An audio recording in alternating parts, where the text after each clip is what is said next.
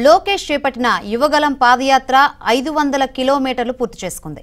అన్నమయ్య జిల్లాలోని మదనపల్లి మండలం CTM cross road దగ్గర లోకేష్ పాదయాత్ర ఐదు వందల కిలోమీటర్లను దాటింది. ఈ సందర్భంగా మదనపల్లి సిటిఎం దగ్గర శిలా ఫలకాన్ని లోకేష్ ఆవిష్కరించారు.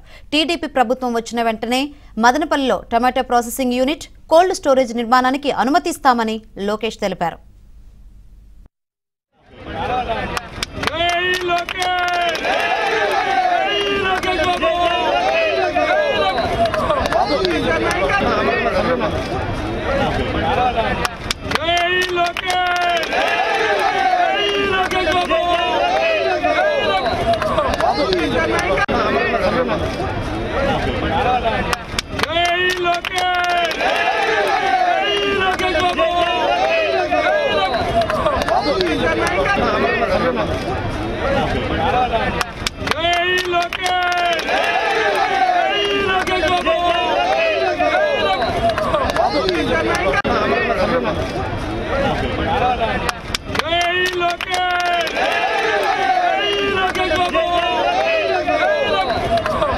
いいじゃないかっ